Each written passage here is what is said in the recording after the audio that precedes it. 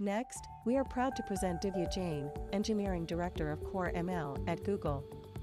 She is here to enlighten us on the operational intricacies of ML at scale with her talk, ML Ops in the World of Gen AI and Large Models.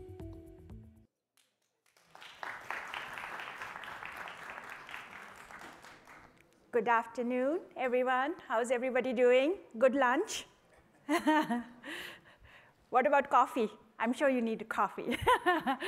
um, I did ask, um, you know, ChatGPT and Bard that whether I should have coffee before my talk, and the answers were kind of interesting because I also wanted to kind of imagine a scenario, what will happen if I take too much coffee or no coffee, and it was funny. So anyways, I'm Divya Jain. I lead some of the training infra teams here at Google, including TFX, and today we will be talking about LM Ops, which is in a nutshell, LM Ops for GenAI.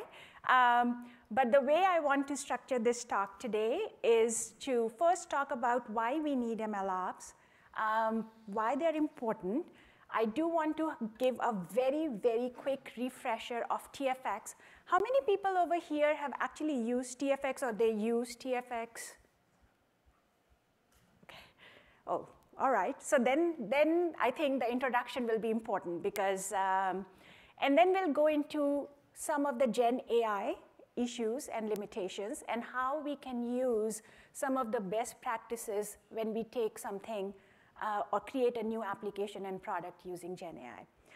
All right, so let's start with what is MLOps and why do I need it, right? Like uh, the, it's, it's really a set of best practices that we have done for software engineering and we want to bring it into the field of ML. But let's really think about two things when we are thinking about MLOps, the change and the process that we need to put in place to, to figure out how do we manage that change, how do we address things that are really changing around us. I like to take an example, which always helps. So here's my example. By the way, this uh, picture that you are seeing is generated by Bard. So it was like, okay, can you create a nice little cartoon? So definitely we are seeing Gen AI helping us in our day-to-day -day work. So let's say that we start a new business of a ghost kitchen, you know, and we are trying um, we, to give this awesome recipes and uh, food that we create to multiple people, we are using ML models to optimize that inventory and the orders and everything is going well. We don't have backup orders. We don't have anything extra. Everything gets filled and things are moving fine. And then suddenly, there is a new study that kind of came up and then your super powerful grain is not as powerful as it was or there was something else that happened in some part of the world and suddenly you are thinking over a period of time that you have more inventory that is just staying there. Some of the orders are not getting full, and nothing has really changed on your side, but your business is not doing as well as it used to be. So what happened really? The fundamentally what happens is that the world around us change, right? The data changes, things, even if we are not doing any changes to our business, the world is continuously changing. And we need to adapt to those change. We need to make sure that the models and the uh, software that we have written is really adapting and making sure that it's addressing the needs that we um, see around us happening. So this is, this is really what ML Ops is. Um, and so along with everything that machine learning development needs, right? Like whether it is about labeling the data, whether it is about uh, creating the best model, about handling the rare conditions, but we really cannot forget about the model development needs. We need scalability. We need extensibility. And I'm sure you would have seen this uh, slide uh, even before because this is not something new, right? Like we have done software at scale for a large number of years, and we know that how important it is. Can you imagine having a system which doesn't have monitoring, which doesn't have any kind of security and safety in place, which is going out to billions of users. So to accommodate all of these requirements that are coming in, the, that's when we launched TFX a few years back, right? Like TFX is really a ML ops solution for a production ML system.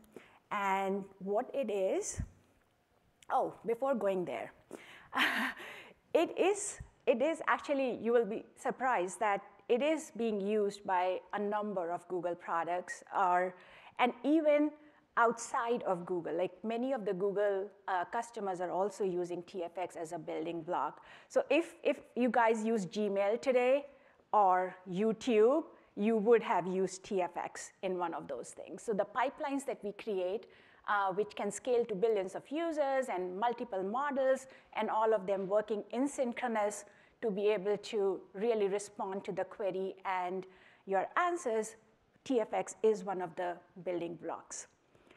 So what exactly is TFX? Again, this is a very simple, and like I said, we are going to do a quick refresher around TFX. So this is a small way of thinking about how a traditional ML pipeline looks like. So the top portion is talking about the tasks that you normally do, uh, starting with data ingestion, validation, then you train a model, and if you think that it is giving good quality, then you push it and you serve it. The orange boxes um, are the components that you get out of the box, out um, from TFX, that help you build these pipelines. So it's very easy. Think of them as like Lego boxes, right, or Lego blocks that you can then really put it into different combination and you can create the workflows and the pipelines that work for your particular use case. The reason, there are a lot of different benefits that come with it other than just codifying your pipeline and workflow, but the two main ones that I wanna highlight today is one is the metadata store. And uh, basically the idea is when you run these pipelines, when you are executing these different stages, there is a lot of more data that is being created. There are artifacts that are created, there is the execution states that are being recorded, and you generate a lot more information that is useful for solving some of the different use cases that you're not thinking from the perspective of user, but are equally important, like lineage, governance, the laws changes, how can you make sure that you are compliant with all of them. So um, when you run a TFX pipeline, you do get uh, artifacts that are stored, you get execution records, and uh, you get a lineage across these executions which help you really figure out how your things are going. So the versioning, making sure that when you're retraining the models, whether the quality is better or worse, like these particular artifacts and comparison between them can really help you make sure that your production system is doing well. The other thing that I want to really call out today is the custom component. And the reason is that not all the standard uh, components will always work for your own workflows, right? Like there will always be something special, something different that you want to incorporate.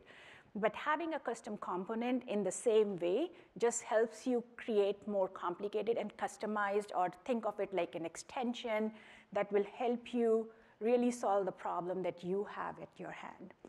Um, so now, what about generative AI, right? Like we, uh, how does that work? What does it mean in the new world of generative AI? And um, I, I do, I think we have all seen the talks in the morning. I was here for the Bard talk, and we really saw that how it is solving a number of different problems. It is, I would say that, you know, I've been in AIML for now 15 years or so, and this is another shift that we are seeing with the large models, right? Like it's a very different way of solving problems, and uh, whether it is about you know, summarizing it, whether it's a conversational coach kind of a thing, whether it is for language or code or images, things are really you know, changing and, and it's, it's really making a big shift. So it, it is great, and we are, all, so, but here's the thing, right? Uh, I was reading it somewhere that right now the conversations, um, or if you look at the number of searches or tutorials, about 80 to 90% of them will cover generative AI. But if you think about the applications that are being, that are really using Gen AI, that won't be, you know, that will be less than 3% or so, right? So why is that? Why is that? And, I, and the reason is because it has its limitations. It has a lot of potential, but it also comes with its challenges. And um, again, right, like I, I think this is something that uh, we all have talked about, that generative AI um, can hallucinate and, uh, and, the, and, and the reason why it does that is because it is a knowledge base and it is generating a response from the probabilistic distribution and making sure that what it is coming up is the best possible uh, probability. So it's, it's basically, think of it more of a linguistic expert, right? Like it has learned a lot of information, but if you give it questions around, you know, spatial stuff or things, then it may not do as well. You would have to do more stuff to make it into that domain specialist, right?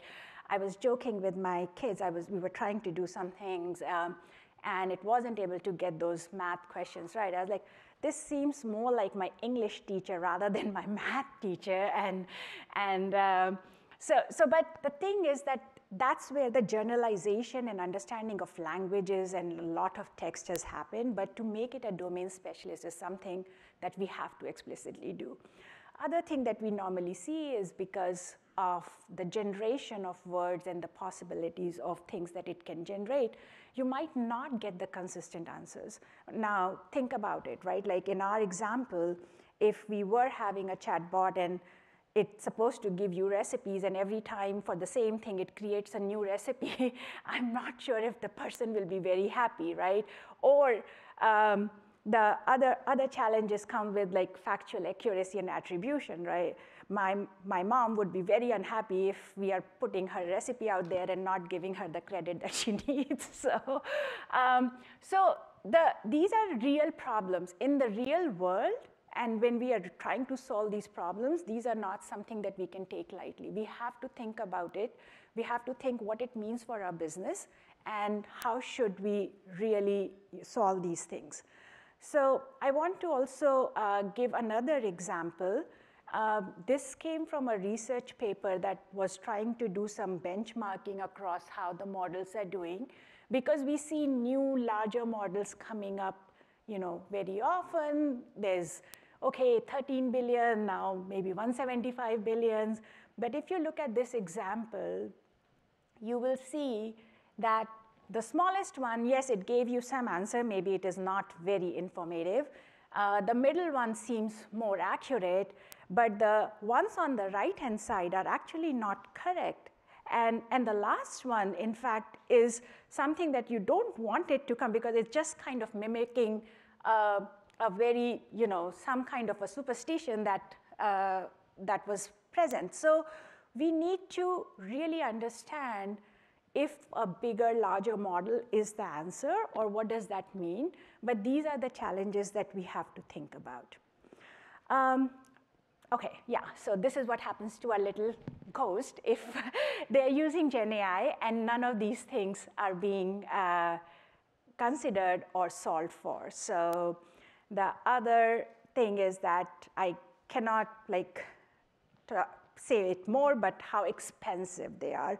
And especially, uh, even if you're using the APIs, even if you're using, you know, open source models, there is still a lot of um, investment that goes into the uh, generative AIs. You cannot train the models all over again for small things, right? Like that's just it's, it will take years and it will take millions of dollars, and that's not how we do it. Okay, so what do we do about it? This is where I think LM ops come into the picture, and it is very important to think about it as you are starting to build uh, those solutions and products and use cases for your users. Um, I've simplified it a lot. okay, but first I wanted to kind of say that these um, requirements or principles that we discussed still goes for Gen AI, um, even more than what they were for machine learning. So what is different? Um, I've, I've kind of done it in three uh, slides or three portions. One is, the first one is about training the training, the way we used to think about in a linear way from data to model has definitely changed, and we need to think of it as a multi-stage, multiple pipelines, multiple workflows coming together. The way I think about it is, th you know, think of like how we do develop microservices, small, small things so that we can manage them better, we can version them better, we can make sure that we can just change one of them without changing the whole thing. Similar to that, like in this case, like every phase that was there, like training the model can be broken into multiple different smaller pipelines. Evaluation itself is a very complicated pipeline. It can be with the auto raters, it can be with the human raters. You, you might want to run multiple evaluation at the same time to see how you are getting things. Based on the use case, like I said, if it is about solving a factual problem, you will have a different evaluation. If you are trying to solve a more creative use case, the evaluation will be very different. Um, one of the example is quality, right? Like what does good even mean, right? Um, if, if they're generating a joke, right? Uh, when my husband tells me a joke, I might find it funny, but definitely not my kids, right? Like that's like, this is the worst joke I've ever heard.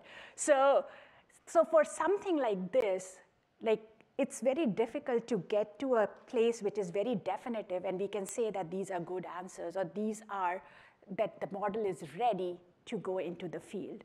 So how do you do that? How do you bring these different perspective in one place, compare them, and then still make a decision that it is ready for solving this use case? So thinking of it in smaller pipelines, smaller phases, and then putting it together really helps. And this is where um, TFX comes into the being, right? Like it helps you put these Lego blocks uh, together in different ways. In fact, we do have um, TFX pipelines for BARD uh, launches as well. The second thing to think about is a little bit on the serving side. Um, and over here, this is an example uh, of a constitutional chain, but I think, I don't know if you guys attended the earlier talk, that when you take something into production, you will realize that there are so many different use cases that comes into picture, right? It's in this whole picture, if you think about like when the user query comes in, you, you know, adapt it with the embedding and uh, more prompt, and then you send it to the adapted model. The model might give you a response which is pretty decent, but you still want to make sure from the constitutional laws, like, is it illegal? Is it harmful? Is it, you know, bias? And you might want to use another model to get a score and then see how it is doing across these different dimensions that are important to you, and then give the response back. But one of the things that I want to highlight in this particular um, picture is actually two things. One is that the model is really a portion of just the query to response system. It's not the only thing, right?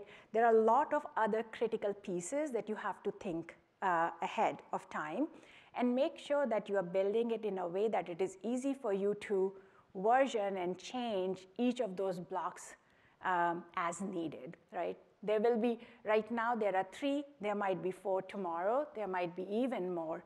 And this is some of the learnings that we did when we were actually going and doing the launches is that the amount of things that you have to consider every time it just increases.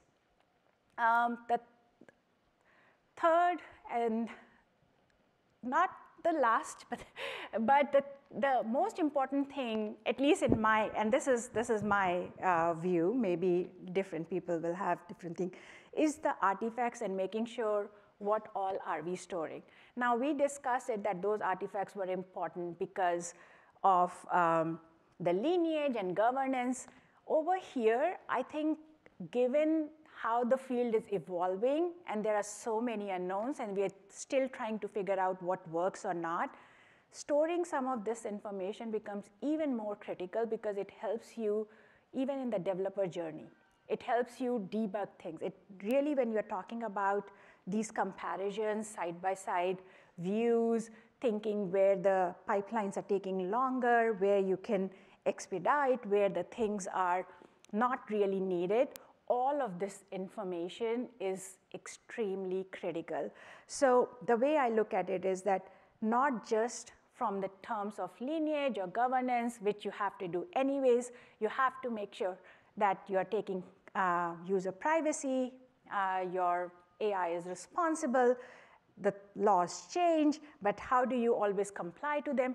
Those are all good things, but from the user perspective, even if we were to really try to understand what is going on, how is it learning, how is it improving, we need to have this data. So that's pretty much the talk where LMOps is just a superset of MLOps. Uh, you have to consider all the things you did over there, but a little bit more and more from the very beginning as you start to put those solutions in place. So I know I, it was a little bit high level, but there are more talks coming up in this session which will go deeper into some of those concepts. So, but for me, like really this is, this is what I wanted to cover. And I have included more um, stuff where you can get more information, which will be hard to cover in 30 minutes. But um, so there are certain machine learning courses. Uh, there is you know, TFX add-ons, a lot of community contributed tools and libraries are available, so please do check them out. We do have, you know, all these forums and community, so you can always reach out uh, for asking the questions or if there is anything else that we can help with. And um, there is also a Gen AI learning path that has come up. So thank you with that, and uh, I'm think we have five minutes, so happy to take questions.